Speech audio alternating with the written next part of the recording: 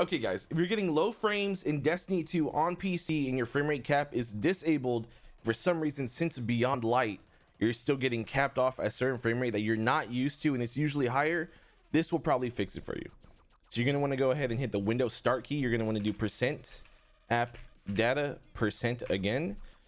App folder should pop up.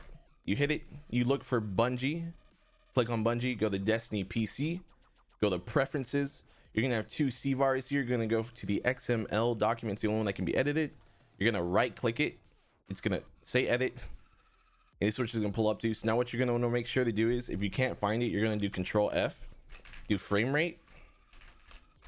It's gonna pull up the first one right here. Frame rate cap enabled. Some people have it set to one, some people have it set to zero. If it's set to zero, you should be okay, but I'll tell you something else to change just to make sure. So you're gonna make sure your value is set to zero. That means the cap is not enabled whatsoever on the back end of the files of the game. So now once that's done, you're gonna scroll down a bit to frame rate cap value. Mine was stuck at 120 and enabled. So you're gonna wanna set the cap enable to zero. You're gonna wanna set your frame rate cap value to whatever you think is a good cap if the game does decide to cap on your system.